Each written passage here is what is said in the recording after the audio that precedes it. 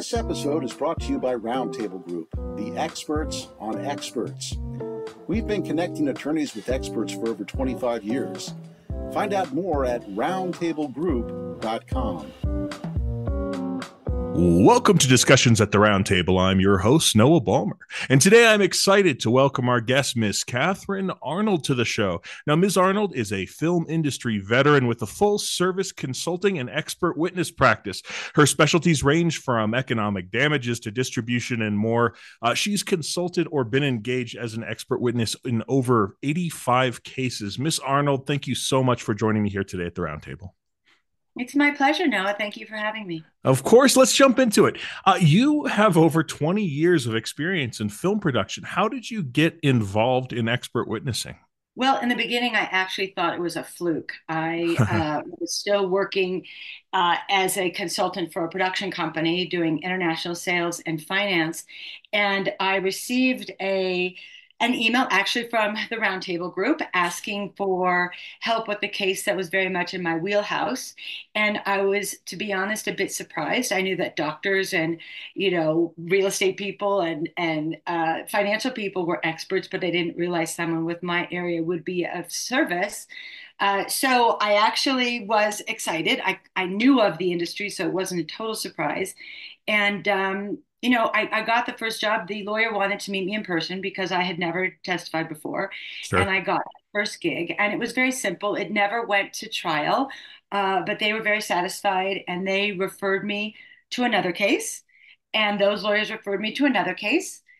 And then Roundtable came back to me with a case that uh, the attorneys were Gibson, Dunn, and Crutcher um, as you probably know, one of the largest law firms in the United States. And it was a it was a ninety million dollar case, and their clients flew down to meet me. It was a series of hospitals and doctors, and I realized that it wasn't a fluke; that it was actually uh, something that maybe I could be of service to. And so I did some reading, got some books on expert witness, and found that it was an entire industry of forensic experts.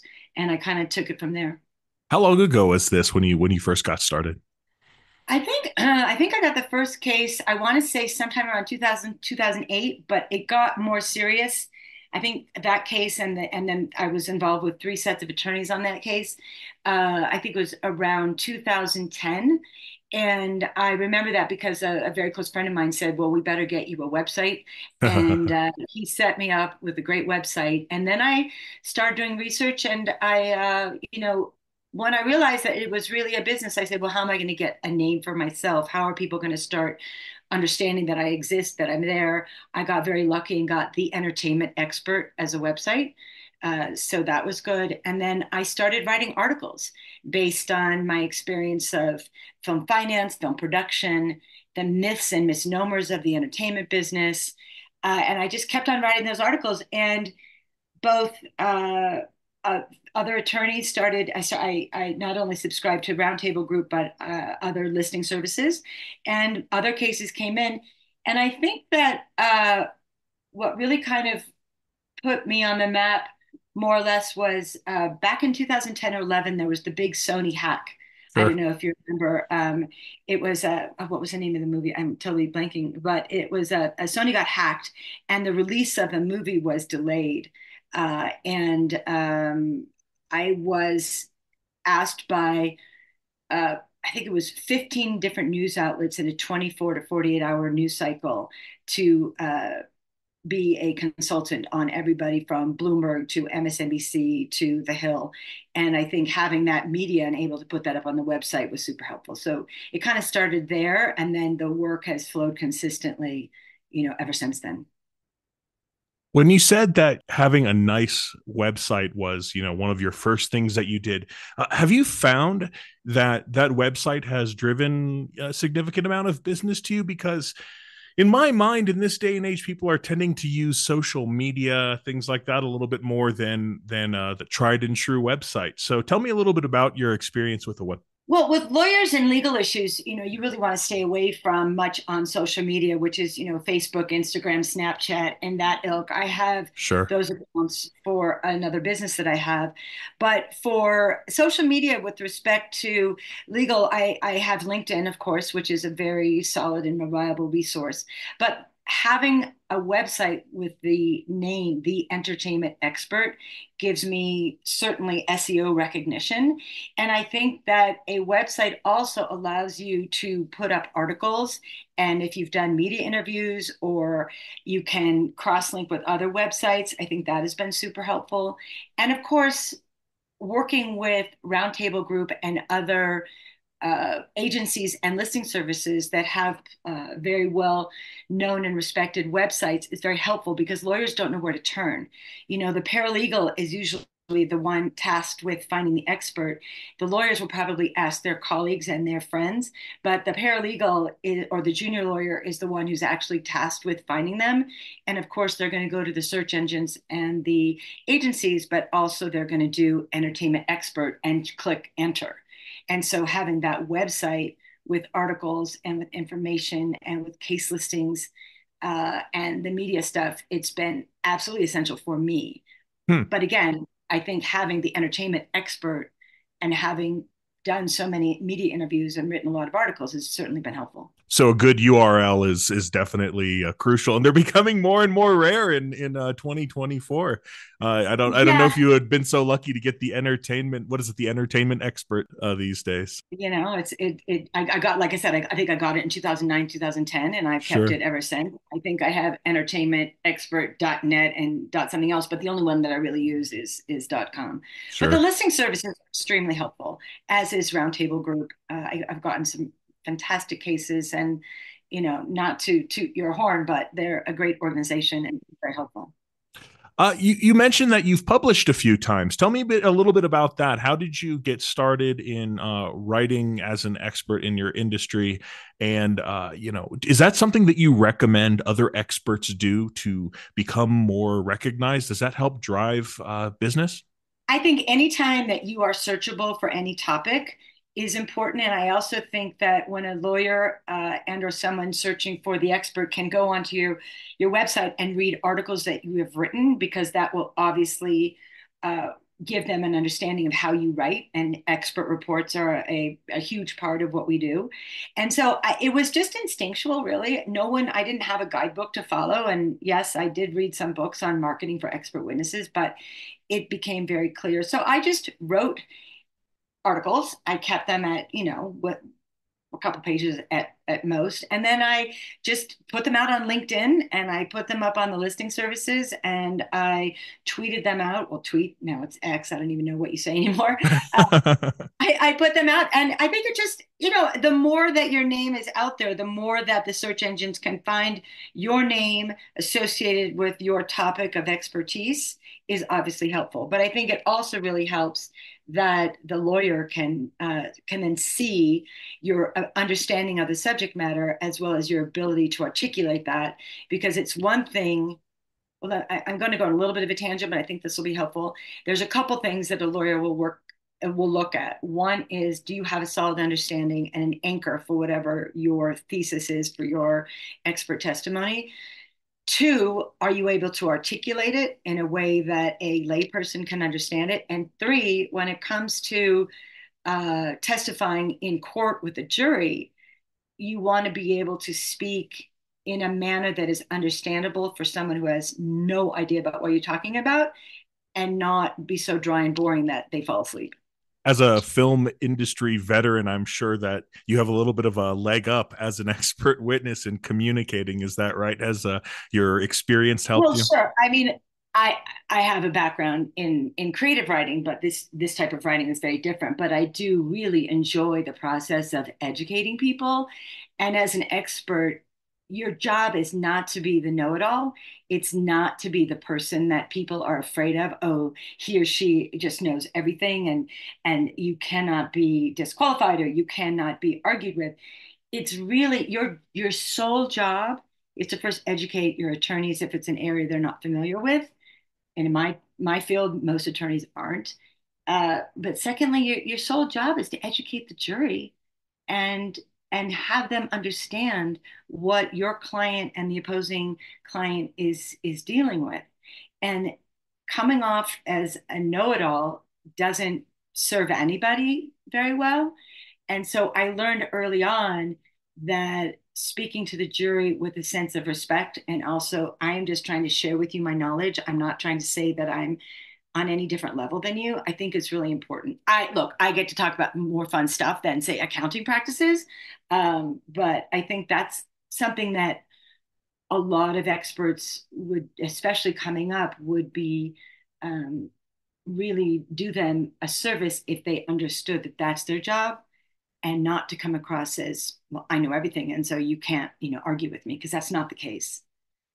These days a lot of cases have been moving towards settlement. Has that affected your job at all? Does what's what's the difference between an engagement that goes to settlement and an engagement that leads to a jury trial it, it, there really isn't any difference in the early stages. Uh, you you know you can be hired as a consultant, which is pre-trial, and then once they designate you as the expert, that's a different designation, but your job is still the same.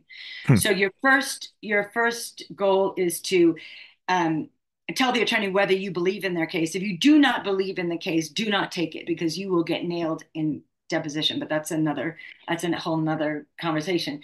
Uh, let me get back to the point, but first of all you you just want to educate the attorney and then you write the report and that's when you're designated. But the the work is the same. You review the material you assess whether your opinion is appropriate for the uh, plaintiff or defense depending on who you're working with. And the only difference oftentimes i've gone fully like i've been I sometimes my name alone has settled the case because mm. I have I have a lot of cases behind me, so that's fair, right? But then sometimes just doing the research and giving the attorney the right ammunition, so that when they go back to the conferences, it'll settle. Then you can write the report, and the report is hard to refute, so that's when you settle. Or uh, everybody gets tired, but the work is still the same. Once it goes to trial, I've had cases settle the night before trial on major cases. I've been ready to fly to Atlanta and I get a call at 11 o'clock, we settled. So you never know when it's going to settle. The work is the same, uh, but your preparation and then your actual job is more verbal um, rather than written, and it's on record um, rather than being just discussions with the attorney. What are the sort of business considerations inherent in an engagement that may or may not move to settlement? So, is it difficult if you don't have some idea of how many hours the uh, the case is going to be because you know oh it might be some huge thing that goes on for months or it might get settled tomorrow or how do you prepare for the business eventualities of uh, such a dynamic sort of job Sure, that's a great question. And so, like I said, you know, here's a good learning lesson. I was, and I'd already done about 15 or 20 cases, and I was uh, speaking with an attorney, and I gave my perspective on the case and he said okay we're going to go and designate you. And i said great. And i didn't have a fee schedule yet. I didn't have any kind of contract. And he said okay we're designated tomorrow and you know we'll move forward. And i said great. And two or three weeks later i hadn't heard from him. And i kept calling and calling. And then I finally got to someone and said, Oh, well, the case settled. And I said, Okay. And I realized that, as I said, they used my name as a credible expert, and the case then settled because the other side. So immediately I realized that the appropriate deal agreement, or you know, what we call a fee schedule, was necessary. And so I uh, worked with, I'm trying to remember where I got the platform, I think I had been involved in some expert organizations and someone gave me a blueprint for a fee schedule they had, but I made sure that prior to designation and or prior to allowing anybody to know I was on the case, the fee schedule and a 10-hour retainer had to be signed and sent to me before they were allowed to use my name. And ever since I've done that, that has never happened to me again. And they even ask, is it non refundable? And in my case, it is for that very reason, because you're not only getting paid a solid rate for the work that you do, but you're paid for the years that you put into your trade to earn you the right to call yourself an expert. And so, by virtue of the fact that I have 20 years, they're not paying just for the 10 hours, 20 hours, 100 hours of work that I do they're paying for the right to have me back them up. And so therefore for me, it's 10 hour retainer, just like a lawyer does. You know, sure. it's a 10 hour retainer. And look, in certain instances, I've given half of it back or I've, I've made arrangements if there was a, you know, a, a legitimate reason. But otherwise, the fee schedule, the retainer, and having that signed before they designate you is critical. That's great advice. Uh, let's back up and talk a little bit about those phone calls. Uh, not necessarily when you were very first, you know, became an expert witness and you had the very first phone call ever, but what are the sorts of things that you should be talking to with a potential uh, with a potential engaging attorney? What are the important things to make sure that you go over to ensure that you are the right person for the job? One of the things that you mentioned earlier that stuck with me is that you have to believe in the case. What else? Well, that is super critical because when you're in deposition and when you're in court, the opposing counsel's one goal is to discredit you, um, both as an expert and as a human being. I've had both um, attempts done. I've had both done to me. Um, so when you're taking on the case, it's very important to understand the case itself, your position on the case, and whether your position that you can back up at every twist and turn is supporting their uh, their position.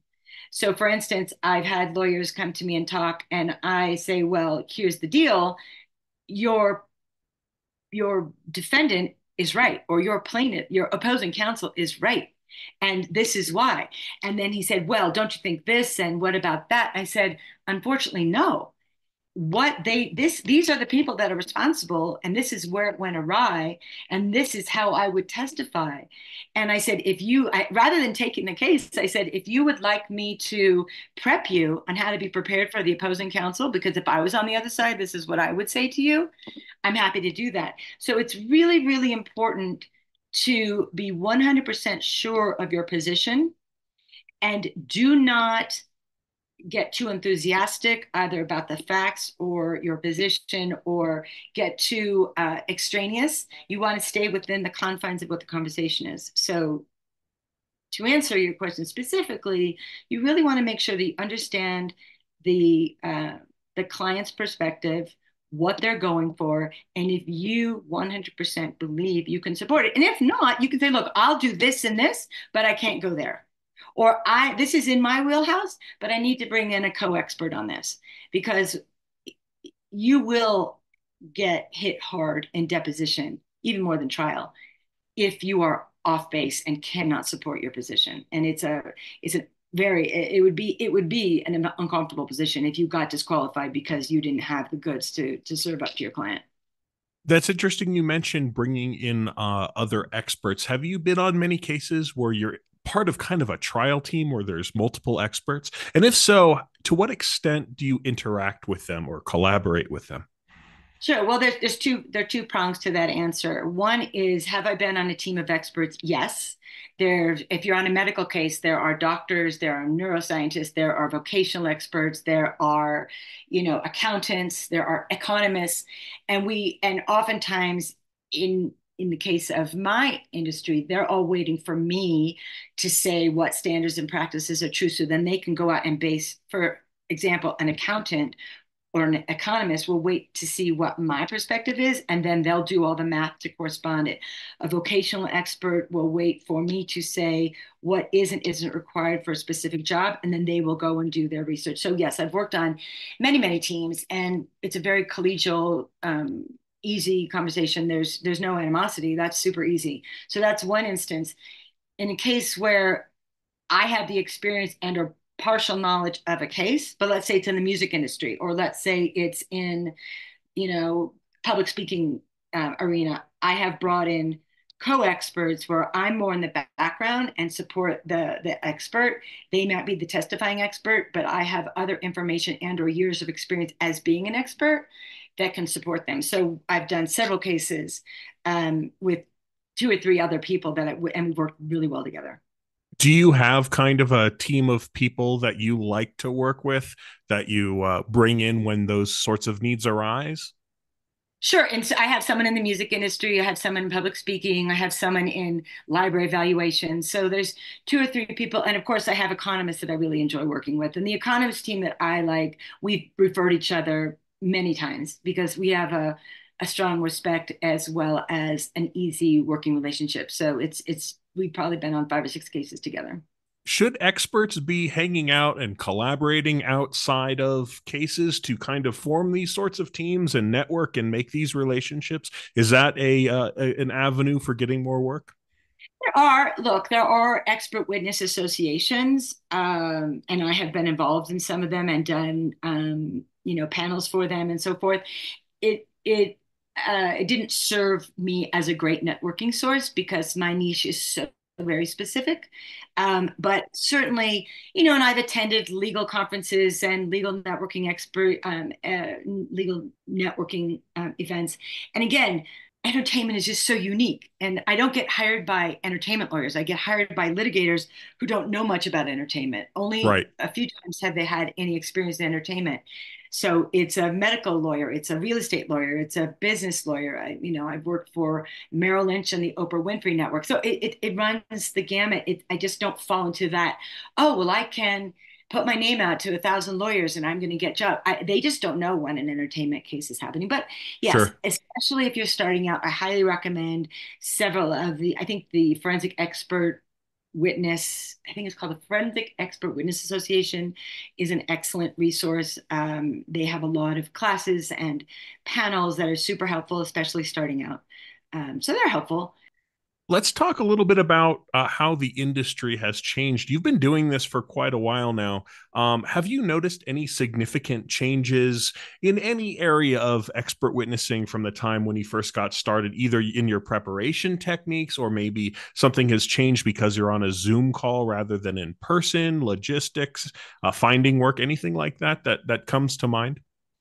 I don't think much has changed except for COVID brought in the the the um, the Zoom and the Teams meeting thing, which was you know we were all quiet for about six months because nothing was happening in the courts. But then as they started realizing that they were going to be very backlogged, um, Zoom came in, and I think that I've been in both Zoom deposition, which is becoming much more common because it's a lot less expensive than flying everybody.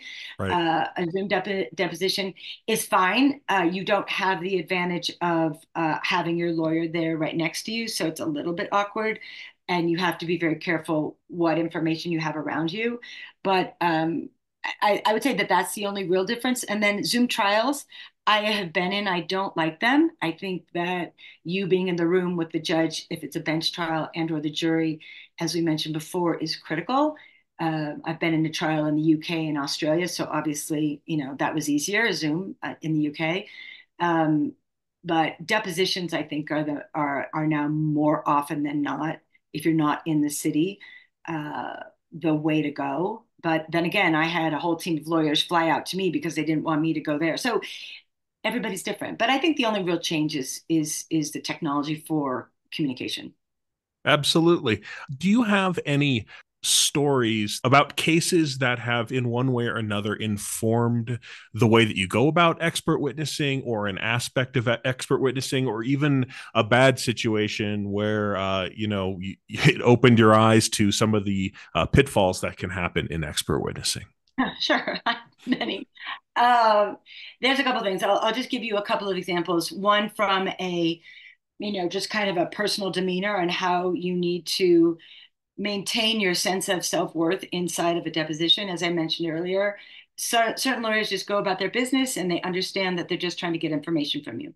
There are other lawyers who's and usually in cases where they don't have as much goods you know their case is weaker they will go for the discredit and disqualifying method and they don't just try to discredit you necessarily on your uh, expert opinion. They actually try to discredit you as a human. So you need to be really aware that it is their game and not yours. And you have to have a very solid shell, almost like a warrior force field around you, and just know that it's not personal. It is their tactic. Because I have been in situations that have been so brutal that I, was shell shocked for days afterwards because they go after you so so intensely. So I've, I've had that. So I think it's really important to understand that it's all a game of war and it's not personal, and that you just have your force field on and and be prepared for that. You were going to ask. Yes. Do you, do you feel that attorneys do enough to prepare you for those sorts of eventualities, especially when you're newer? I think you know they try to they try their best to uh, to make sure that you know your stuff, and they ask questions in various ways. They also try to know enough about the background and what you testified to before, and any of your writings that are in the public domain, because lawyers will dig. So if you've been on a case and you've had an opinion published, or if you've written an article, they will go back and they will take it out of context. So I think lawyers are good about that.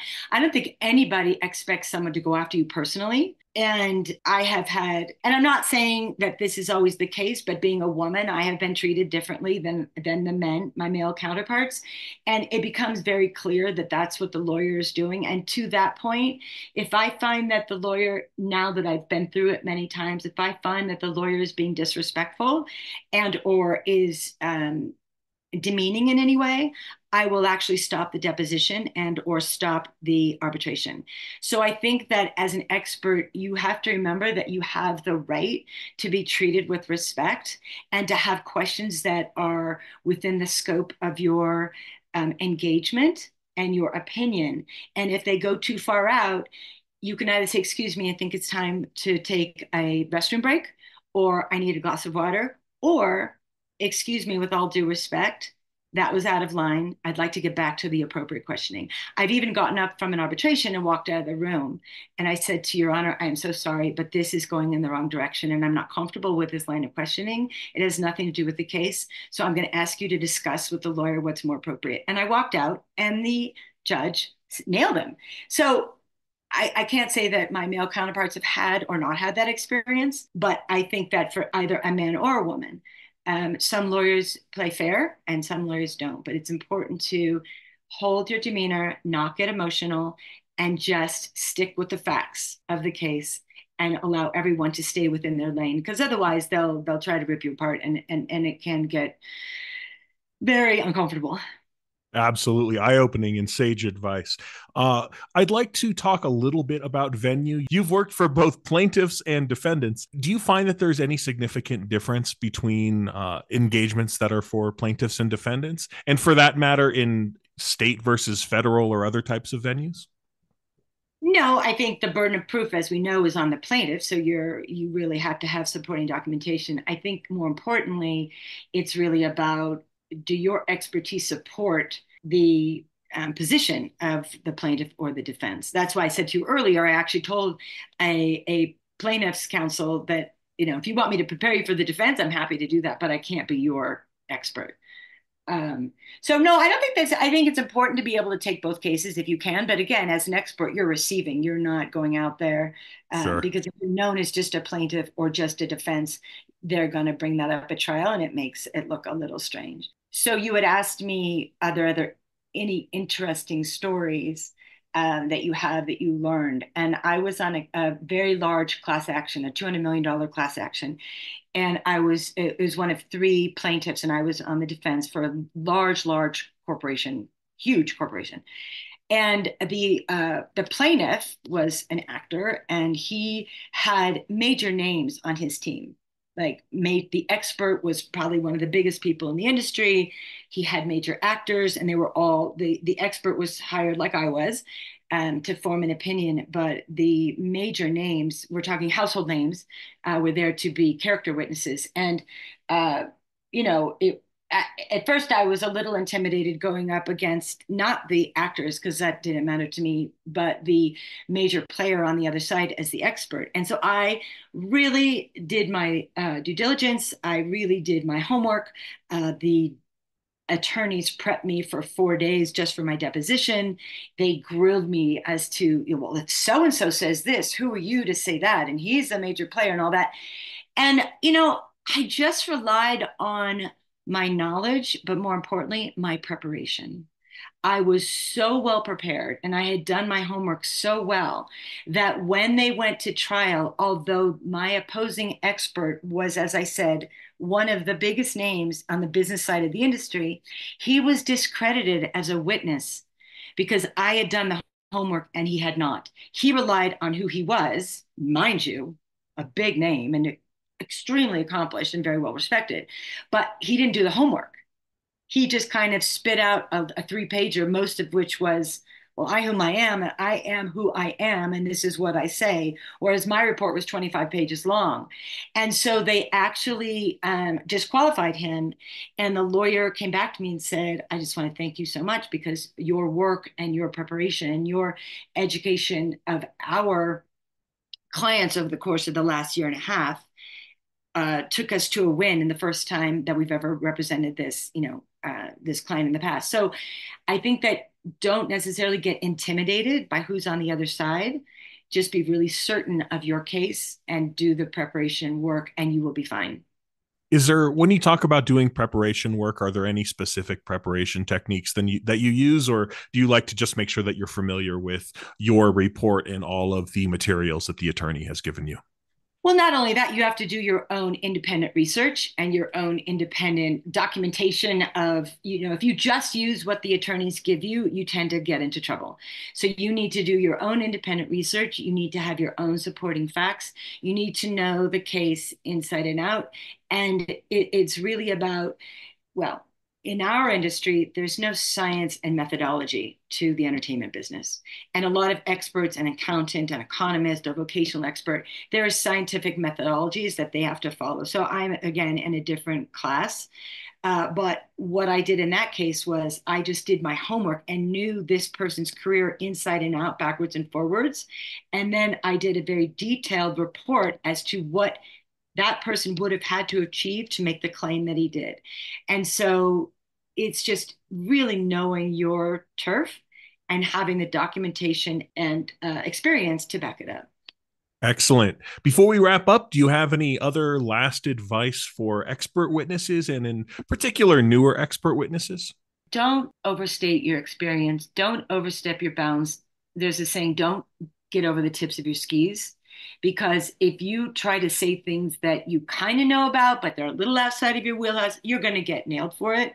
So it's better to underpromise and overdeliver because your report will be parsed word for word by a series of paralegals and attorneys that their only job is to find fault with your report and find fault with your testimony. So number one don't get out in front of yourself.